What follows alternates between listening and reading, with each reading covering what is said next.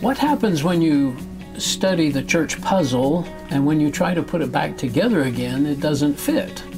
Next on the Ex Mormon Files.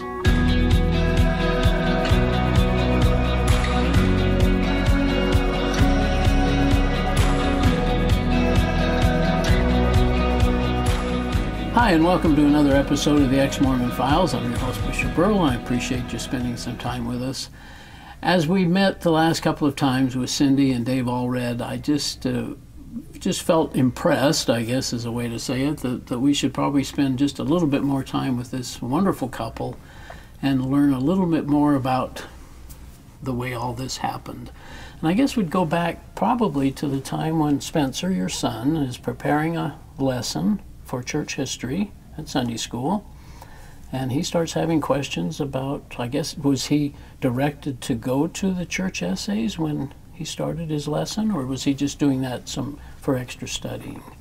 He's like us. He's very thorough. Yeah. And um, so he wanted to be fully prepared and um, be able to answer questions that may come up uh, along the way. And as he was doing that, he noticed that there, there were things in the lesson materials um, that didn't seem familiar to him, and he was kind of confused by that. And so he did a little more research to see, well, what is meant by that? Yeah. And, and so, did he call you? Did he ever talk to Dave about this? Uh, he didn't. He called me because I'm the one who's had the most interest in church history. Okay. And I had a lot of books. Uh, I had the complete set of B.H. Roberts' uh, comprehensive, oh, comprehensive history. history. of the church, yeah. and um, and then a lot of others too. So um, I was well versed in church history, well, or at think? least I thought yeah. I was. Oh, that's that's true. What did you think about what he was bringing up? Had you heard any of this contradiction in at least what he was bringing up? Well, he he did ask me about the seer stone, and I was aware that there was a seer stone uh, from church history, but um, not that it had been used in translation, just that it had been used for other things. Kind of more like a Liahona yeah. thing uh, for direction and uh, maybe to find something that was buried. And at this point, Dave isn't brought into this, right? I mean, you and Spencer are kind of going back and forth doing right. this study. At this point, it's but just you're kind Spencer. Of, Dave, you're a little bit aware of but you weren't aware. sure of what they were studying. I would catch some things that they were talking about, but then I would just go do what I was doing. Yeah. How long did this go on, do you think? Or was it kind of just during this time preparing um, for the lesson? Well, it was um, a good share of the month of October and then. Of 2017. Right. Yeah, some of them and, into November. And then into November. Okay. Yeah. Well, so tell us the dynamics. What what actually goes on between the two of you, and because I think one of the things that's most concern, concerning to me as a, a former Latter Day Saint, especially watching couples divide over this information or go atheist and all that. Sometimes we feel like maybe they uh, aren't coming together, the husband and wife. So how do you how do you feel like you bridge that with the two of you? Well, I think we were fortunate yeah. uh, because as I read the first two essays, and I found indeed there are a lot of problems here. And in fact, I think I used the word, this is such a mess. um, then it, the more I read, the more concerned I was.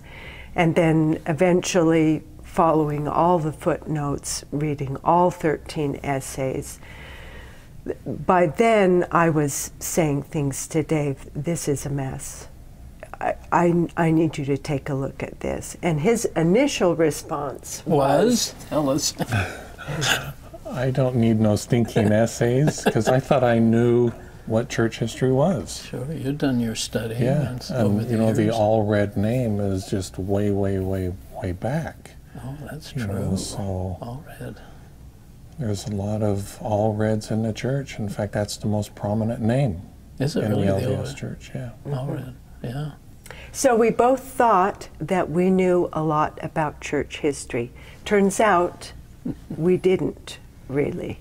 And uh, reading those essays, we learned a lot more that we had never come across before. So did you, in sharing with Dave, then Dave, when you r- used, did you go to the essays then eventually? Yes, I went to the essays, read those, and uh, of course I went and watched that uh, first video by Grant Palmer, Palmer. and then the essays, and then the CES letter by Jeremy Runnells. Now that's had a, quite an impact in this whole journey, hasn't it? The Right. CES letter, because Right. Jeremy was. Tell us about that. well, he just had questions. Jeremy Spencer.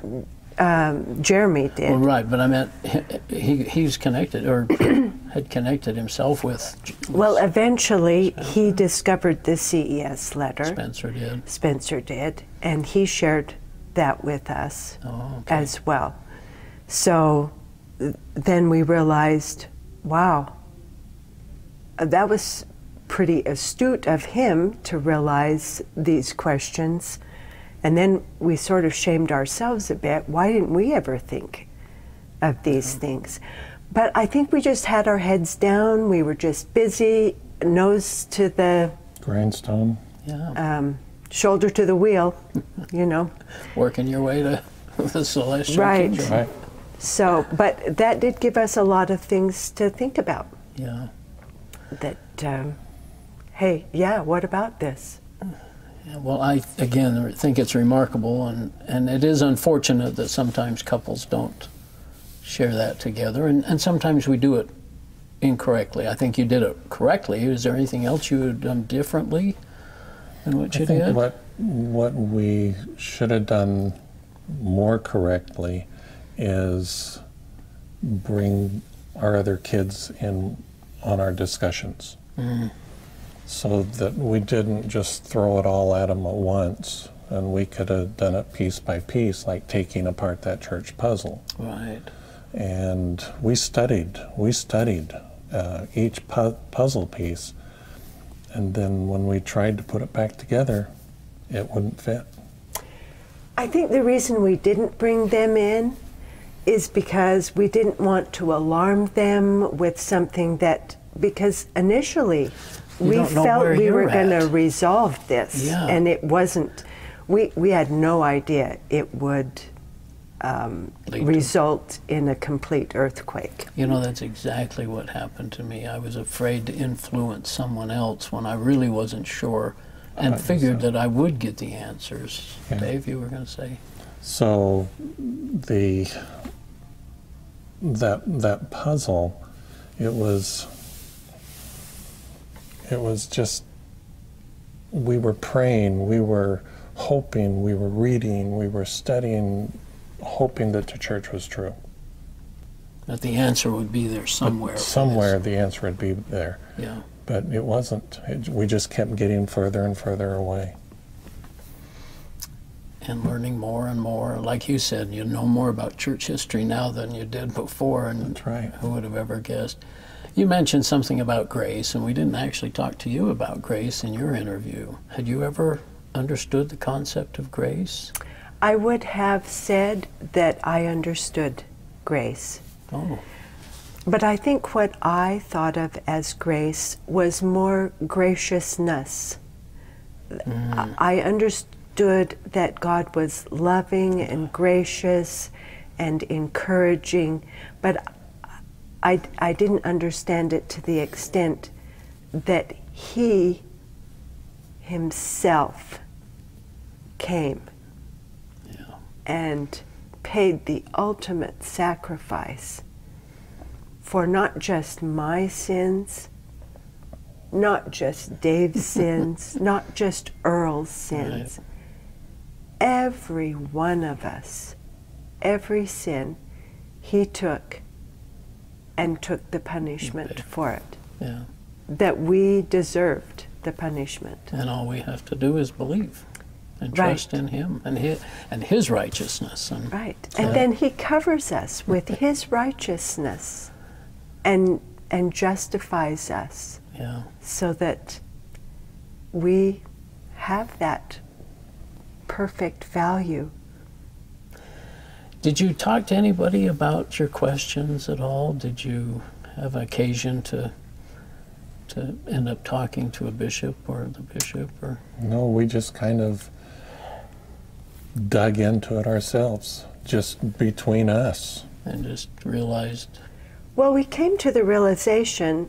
At first, I thought that the uh, leadership of the church, the first presidency and the quorum of 12, they couldn't possibly know that this is what was out there. Did you think there. you'd invented the whole thing? I mean, not invented it, but that you were the only one Well, that I knew thought- about it? Yeah. I thought the website had been hacked. I That's did. right, you said. I I thought someone has snuck in here with stuff and really pulled a prank. But then as we went along and got more involved and following the footnotes and and then all of the conference talks that are associated with them as well we realized they they knew everything Yeah. and they had published these documents and and I think we had a discussion didn't we that we decided it must have been written by attorneys Yeah. The Kind of what it verbiage That's a like- sense I get too, yeah. right Very articulate, I mean, very wordy. precise precise language language. um, uh, not not too harsh, but you know, kind of softening things that really are pretty harsh. Yeah. Um, so so we realized, okay, that the church knows, and this is their documents, and this is the way that they're going forward. Yeah. So we knew that if we met with our leaders, they may not know any of it because why would they? Yeah.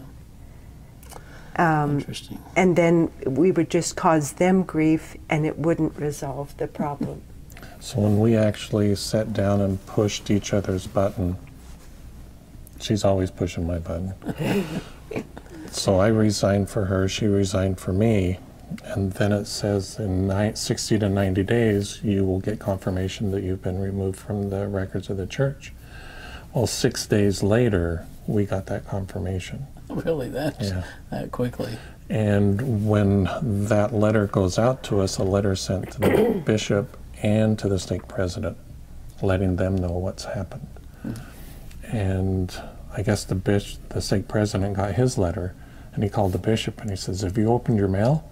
and he says, "No, I've been busy. You got to open your mail." And then he told him what had happened, that we had resigned, and because we never talked to anybody, not even our kids, no neighbors, nobody. Wow. It just rocked the bishop's world. He came over and sat down and he says, Why didn't you talk to me? What, you know, I could have helped you. And he hmm. says, We really didn't want to bother you because we had to go through this. Were you able to share anything with him? Oh, Was yeah. He, is he willing to listen, or did He, he? he listened and he says, Well, I didn't know about that. No. But That's initially, so often the case. They just don't know, and worse, they don't really want to know. I mean, our first thought wasn't to resign, though. Our first thought was we will just gradually fade, fade, just quit fade, going to church, Become and inactive. become Mhm. become inactive, and then just disappear in the woodwork. So, what was the thought process then about resigning? Well, we realized that if we stayed, we were actually in direct opposition to Jesus Christ. And we did not want to be that. At least the good news of, of the gospel. And our integrity. We had to be true. Yeah. because we knew that it was not true, so we couldn't just go inactive Yeah. because of our integrity. You didn't want to be a hypocrite. We Right. couldn't pretend. See, I was serving in the primary as the secretary, so I was interacting with all the teachers, the presidency, and all the children. I, I was very much involved. And um, and in fact, I was encouraging all the kids to memorize their 13 articles of, Of faith course. During this Yeah. all during this reboot, time. When you went to church those last few month or two, did you was it difficult? Were there things you were hearing and you think, you know, they don't really know when they bear their testimonies at fast and testimony meeting? You're thinking, uh, I don't think they really, I don't think they know everything. it was probably two weeks before we resigned that the bishop asked Cindy to speak in sacrament meeting. Oh my! no, it was a little more than that because it was early December. Okay. But you did. I did. What did, did you talk about Jesus? I did. I, Good for you. All about Jesus. I gave really? I gave a talk about kindness, and uh, all of my scripture references were from the New Testament. Oh, that's neat. Yeah. Well, I know there's so much to talk about. How did you pick a church to go to after you came out? Um, after you did you did you immediately say we need to go to a church, or did you want to? Kind We of, actually went hiking and you went as, you know, a couple Sundays. yeah. Um, and thinking, praying. Uh, we prayed in the mountains a lot. what do we do now? huh? Yeah, what do we do now? Where do we go? And a good friend of ours um, suggested that we try a couple churches because, like I said, when the dust settled, Christ was there, and we wanted to stay with Christ. Yeah. So we went to And they I, they invited us to go to the National Day of Prayer. right. That was an amazing thing. We had never heard about it, or if we did, we just didn't pay any attention. Um, but they, this friends of ours, they went every year and still do um, to the National Day of Prayer, and it's when a group of churches gets together. And I think there's what, like 30 churches or more? Or more. yeah. Christian churches that come together and they pray over every aspect of life. They pray over the military, they pray over the government, Wow. The schools. the schools, the students, um, It was pretty amazing. And, families. and after that meeting, this friend of ours took us over to a table and introduced us to um, Pastor Jody at the Adventure Church. Oh, okay. And so, So- we met her and Ira, another pastor, and And their secretary sat at the table with us. Yeah. Brenda, we met her. And within two minutes, she actually hugged each of us three different times. And we'd never been treated like that before. Yeah. We felt the love from her that, and how much she loved Christ. And that touched us. But then during the next, what, month and a half, we went to maybe four other different churches. But because of how we were treated when we went to the Adventure Church, um, that is our home church. Oh, great. And the other churches we attended were really great. nice too. We we liked them. It's just that we felt, Felt a really- special um, comfort. I think. The first time you went into a Christian church and had the cross on the wall, or probably, and how did how did how did you react to that? so the different. music and It was- everything. It was awesome to see a huge cross. It was, Was it probably really? eight feet, ten feet tall. And yeah. you like that? yeah. But by that point, we had already started developing a respect and a love for what happened on the cross. Yeah. See, That's we, so- we hadn't thought about that before, and whenever our children had asked us why we don't use crosses, we had just said, you know, we, we concentrate on the living Christ, the standard answer. And not the way he died, Right, not realizing how how significant it is and what it means to us now. right. Oh, that's awesome. So it was a comfort to us to see the cross there on the wall. And the music is always so worshipful, isn't it? That, it was awesome. Yeah. The words are all about Jesus and God. And, Everything. Yeah. Everything is about Jesus. yeah. In so fact, different. we would have said that we worshiped on Sunday by attending church, but that as, as Mormons. that meeting Yeah. yeah. is nothing like what we experience now as Christians, where we do actually worship and sing praises Yeah. to God. Now we've met here for a little bit with both of you and now together again. Is there anything that we've missed talking about? Anything that you'd like to share? Born again moments or not born again, but I mean just other special feelings. And feelings are important in the church and Mormonism. How do you and I guess I've asked two or three questions here, but anything we've left out? Anything you want to share? There are a couple of things I want to something? I think the first time we went to the Adventure Church, they had communion. Oh, and they pass it. We we take a little wafer and um, a cup of grape juice. right. I thought, whoa, grape juice. Well, that's kind of like what Christ did at the Last Supper. You know, His Yeah. blood.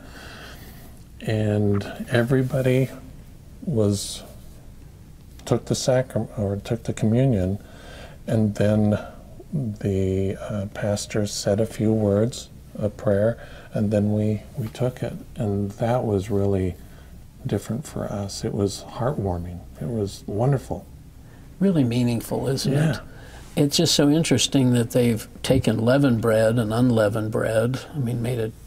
Joseph made that change, and then the water and the wine or grape juice, because at the Passover Jesus would have had unleavened bread and wine Right. at the upper room. Right. That's what they would have been doing. So it's just funny about this restoration of all things, and, and yet they kind of twist it just a little bit, go to water and to leavened, leavened bread. Yeah, in fact. And it all made perfect sense to us It did to me until too. we stopped and thought Yeah, it all the way through. Yeah. and the meaning of, of what it really Right. what it really means. Well, I know you've done some. You've been involved in something called Jesus Feeds, and maybe you could share that with us. What you've been doing, what that is, and Well, Either as, one of you? as baby Christians, yeah, we we're just trying to figure out. Okay, well, How can we help? how does this work? And and we're so used to doing that we No feel like we have to do, you know. Uh, but so we've just kind of looked to see where are ways that um, we can participate and be part of yeah, what God is doing, and uh, we want to make sure that we're always in in line with what God's directing, because He's the one in charge. It's that's a great feeling, isn't it? it- So and it- it's comforting. So, too. what is Jesus Feeds? Is that a program that? Uh, That is a program that I think Adventure Church has been doing for over 17 years. wow, Quite a few years. I'm not sure how many. Not sure um, how many years, but it it goes along with the um, the food bank. Yes, Community Food Bank. So they every Wednesday they unload a truck of uh, produce, food, and they have a room set out, a couple different rooms where they it's like walking into a store. where And- people that have need Uh, can yeah, come in and It's a large pantry. And I think they serve about 50 people ish a week. or week families. or families. oh, that's wonderful. So they get to go through and pick what they need. So they can pick bread, cereals, you know, Canned toiletries, goods. canned goods. Fresh things. They've got freezers with frozen Yeah, um, foods in it too. So we help. We've been helping prep that for the Thursday when people come in and collect those items that they need. So we've been doing the Wednesday work. We're, we're not there on Thursday when the oh, the people actually come well, to that's the neat though. pantry. But it feels good to be doing something for other people. And I don't- I don't know that fast offering donation just wasn't quite the same as as it when you're really helping other people and gathering up. But that's Well, and the thing we've noticed is that everyone that's there participating in that project, yeah, they're just happy to be there. They're they're and serving uh, and mhm, yeah. very cheerful. They enjoy each other's company, and there's great camaraderie. And Yeah. Well, gosh, believe it or not, we're about out of time again already.